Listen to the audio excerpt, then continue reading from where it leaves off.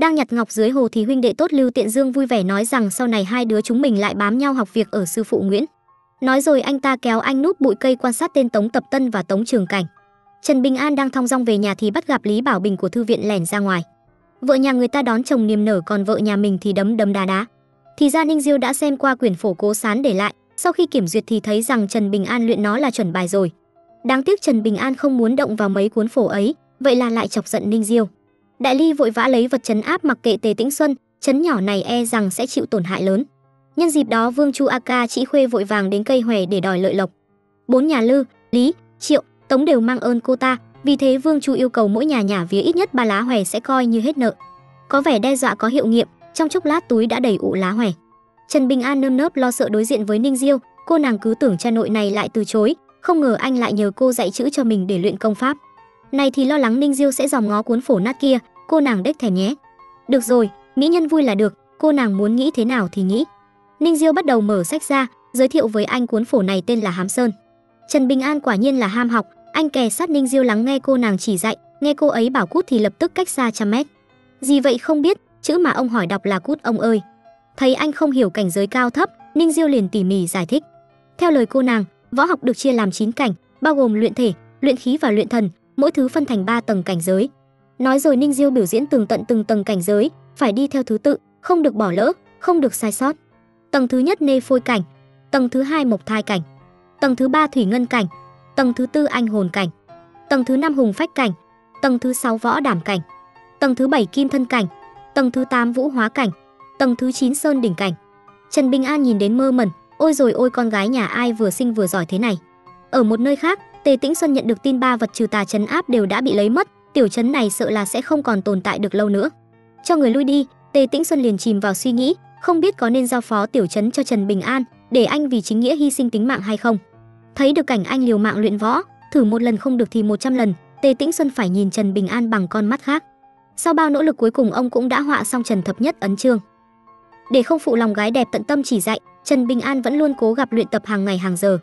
Tiếp theo đây Bình An phải học cách đứng tấn, đi quyền và luyện ngủ, nếu anh có thể kiên trì lâu dài, cơ thể ngày một khỏe mạnh chưa nói, còn có thể kéo dài tuổi thọ. Dứt lời Ninh Diêu tạo ra huyễn cảnh đi quyền thị phạm ngay cho nóng.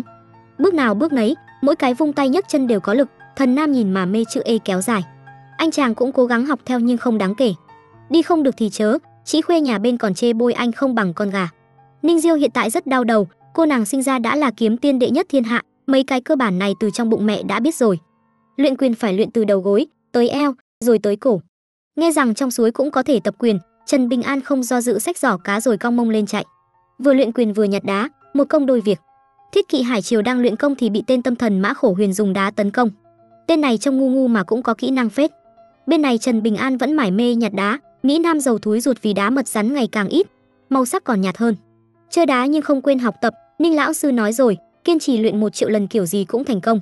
Bấm tay tính toán một hồi, một triệu lần này, mỗi ngày 5,6 canh giờ thì phải mất 10 năm. Thấy Mã Khổ Huyền xuất hiện, Trần Bình An lại tiếp tục công cuộc nhặt đá của mình. Ở hiền gặp phiền, Mã Khổ Huyền muốn so tài với anh, vì thế thằng cha này không nhiều lời đã lao vào đấm đá. So về độ điên thì đố ai qua mặt Mã Khổ Huyền, dễ thấy bên bị thất thế trước hắn ta. Mã Khổ Huyền đấm Trần Bình An đến nghiện, may mà có người xuất hiện cứu anh một mạng. Người nọ là sư phụ của Mã Khổ Huyền, anh ta còn dành lời khen cho quyền ý của anh, nói rằng chỉ khi ngộ ra chân quyền mới có thể làm chủ thế sự. Đại khái kiếm tu ngứa mắt dáng vẻ cà lơ phất phơ của Mã Khổ Huyền nên giảng cho hắn ta một chàng đạo lý làm người, đáng tiếc cha nội này nghe tài này lọt tai kia. Trần Bình An hóng hớt drama được một lúc thì nghe Lý Bảo Bình hò reo gọi mình. Cha nội mắt thâm Mã Khổ Huyền không hứng thú đạo trường sinh, hắn chỉ muốn học cách giết người. Trần Bình An mặc kệ tên điên đó, anh muốn về nhà với vợ rồi. Không ngờ hai người trước mặt quen biết Lục Trầm, còn gọi vị đạo sĩ đó là Lục tiểu sư thúc. Trần Bình An luôn nhớ ơn ông ấy, vì vậy đã chọn hòn đá đẹp nhất nhờ cô nương đưa cho ông ấy hộ anh.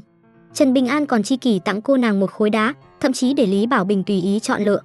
Trần Bình An tung tăng về nhà thì bắt gặp bóng dáng cao lớn của Tề Tĩnh Xuân, ông ấy có việc hệ trọng muốn nhờ anh. Sau này nếu thư viện Sơn Nhai gặp nạn, hy vọng anh hết mình hỗ trợ. Lưu Tiện Dương bỏ việc vì nghe tin có nữ tử xinh đẹp muốn gặp anh ta, thế nhưng thấy đó là Hứa Thị thì anh chàng lập tức xịt keo cứng ngắc. Mụ điên này không những muốn lấy bảo giáp, thậm chí còn muốn giết chết Trần Bình An.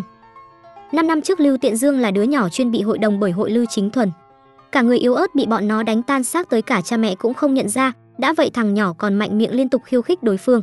Nếu không nhờ Trần Bình An đi ngang qua hét lớn lên chết người rồi thì mạng sống tiểu tử này đúng là khó giữ. Ai mà ngờ Trần Bình An làm ơn mắc oán, kết quả bị Lưu Tiện Dương đánh tới tấp vì cho rằng anh xen vào chuyện của cậu ta. Lưu Tiện Dương đơn phương kết thù từ đó, hễ gặp mặt Trần Bình An là cậu ta lại cong mông đuổi theo đòi đánh.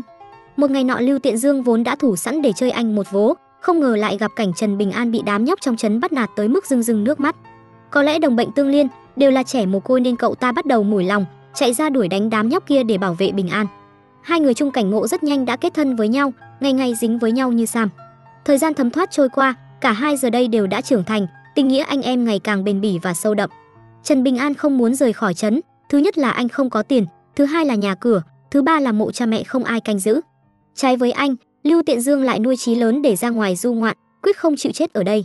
Vì vậy cậu ta nhờ anh lát nữa đến nhà thay mặt Lưu Tiện Dương bán Dương Bảo Giáp cho một người họ hứa, tiền phải đếm cẩn thận ngay tại chỗ.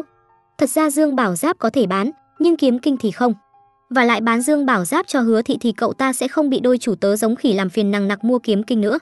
Trần Bình An giao hai túi tiền cho Ninh Diêu, một của hứa thị, một của đôi chủ tớ kia, hy vọng cô nàng có thể bảo vệ Lưu Tiện Dương.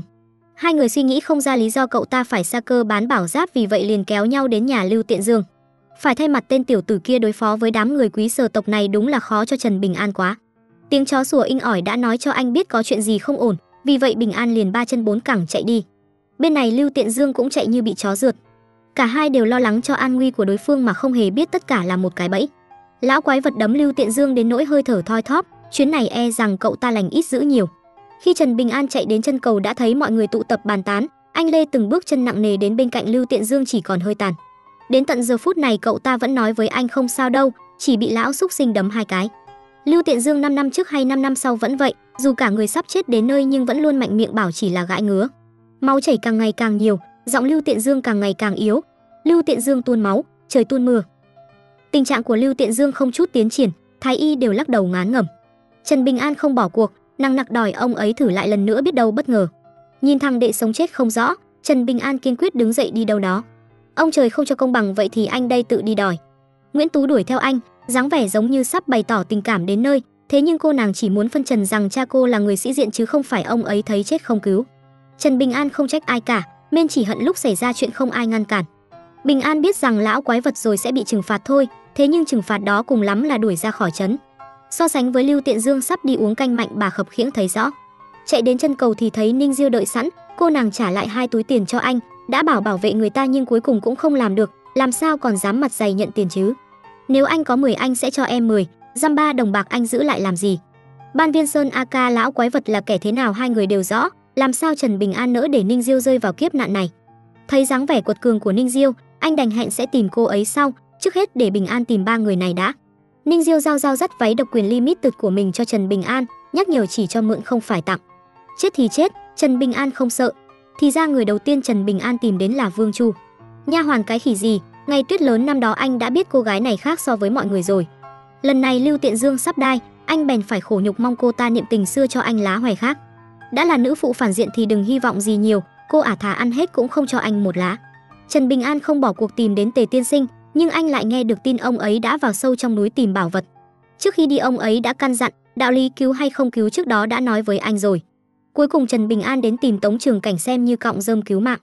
Suy cho cùng, ba túi tiền không thể nào đánh đổi được việc để Vương Triều Đại Ly ông ta đối đầu với chính Dương Sơn.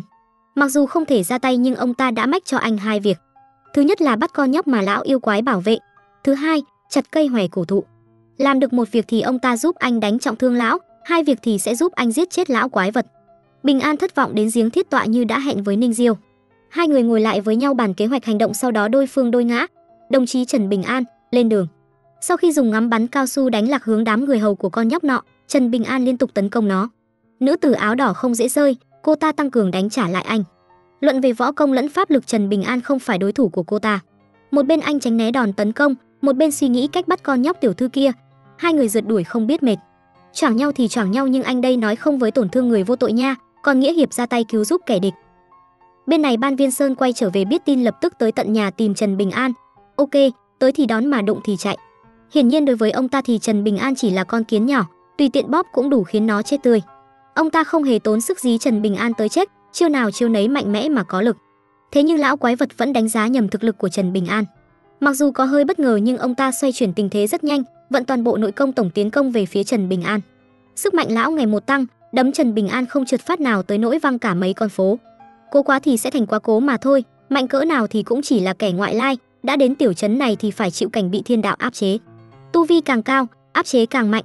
Lão viên này nhẹ thì giảm thọ 10 năm, nặng thì đạo hạnh ngàn năm tan thành cho bụi. Phía xa Trần Bình An loạn trọng đứng dậy từ đống tan hoang, khuôn mặt kiêu căng lật tay xuống làm dấu không thích. Ok, lão viên chơi không đẹp, not cool bro. Giờ bị thương không nhẹ, tiếp theo sau đây Trần Bình An tự dặn mình phải cẩn thận lão già kia hơn, x10 tập trung. Sương mù tạo cơ hội cho anh lợi dụng tình thế để phát huy sở trường ngắm bắn cao su của mình một cách triệt để. Không hay rồi, bây giờ lão ta đã tìm lại được ý chí máu lửa của mình rồi, sao già mà còn sung sức quá vậy. Trần Bình An mình trần mắt thịt, anh sắp không chịu được nữa, tiếp theo đành nhờ cả vào Ninh Diêu. Hai người chỉ cách nhau vài bước chân, dù biết tiếp theo mình sẽ thất thế nhưng Trần Bình An vẫn bình tĩnh, không hề sợ hãi đối mặt với lão quái vật. Bên này hai anh giai chiến đấu hăng quá nên không chú ý đến động tĩnh của Lưu Bá Kiều ở một bên khác đang hành động. Hay, Lưu Bá Kiều có lòng nhưng không có sức, kiếm ý của anh ta so với Ban Viên Sơn chỉ là mũi. Pháo hoa báo hiệu vừa được bắn lên thì đó cũng là lúc Ban Viên Sơn nhận ra mình đã bị hớ. Thấy đám cháy xuất phát từ Lý gia đang ngày một to lên, vì an nguy của tiểu thư ông ta đành bỏ qua cho Trần Bình An. Ninh Diêu hoàn thành nhiệm vụ quá xuất sắc, cô nàng đang tính rời đi thì bắt gặp hình bóng của Tống Trường Cảnh từ xa. Theo dự tính của Bình An, ép lão viên hoán khí vài lần có lẽ ông ta sẽ ra tay giúp, còn nếu không thì kệ mẹ, dù sao anh đây cũng không thực hiện lời hẹn. May rằng vế đầu đã đúng, Tống Trường Cảnh thật sự ra tay đánh lão viên. Lưu Bá Kiều sống sót sau đại nạn vẫn chưa kịp hồi thần, vấn đề gì có thể dùng tiền để giải quyết thì nó không còn là vấn đề. Ở một nơi khác hai anh tài đang đấu với nhau rất gay gắt, hỡi ôi màn biến hóa phải gọi là ngầu bá cháy bọ chết.